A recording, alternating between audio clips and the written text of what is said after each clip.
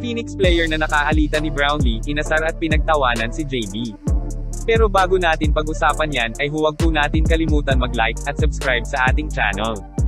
Phoenix player na si Lalata, kung saan napikon si Brownlee, pinagtawanan, at inasar, ang Hinebra import ayon sa isang post ng kanyang teammate na si JB Mocon.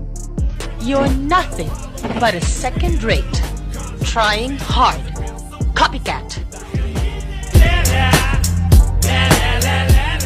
Ayon sa video, ay tila nagtatawanan sila, habang nagkukunwaring sinapak ni Lalata, ang kanyang teammate. Nakalagay din si Brownlee, sa hashtag ng post ng video.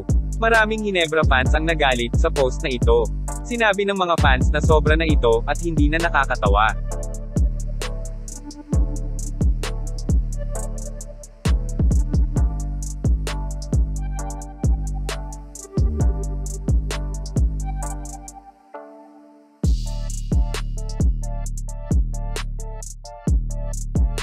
Pero ayon kay JV Mocon, ay pampa good vibes lang daw ito, at huwag dapat seryosohin.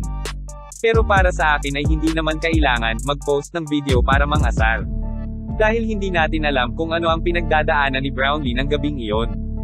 Kaya siguro kung muling maghaharap, ang Hinebra at Phoenix, sigurado ako na uulan ng sigaw at concho kay Lalata sa mga Hinebra fans.